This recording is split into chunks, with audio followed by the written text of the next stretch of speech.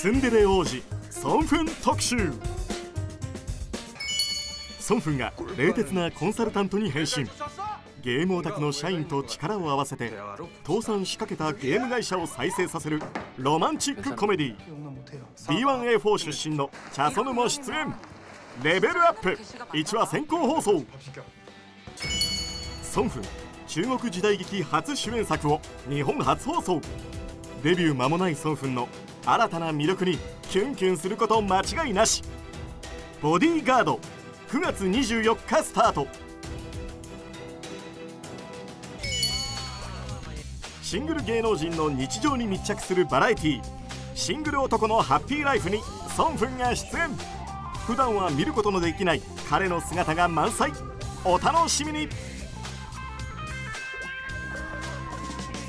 詳しくは DATV ホームページへ。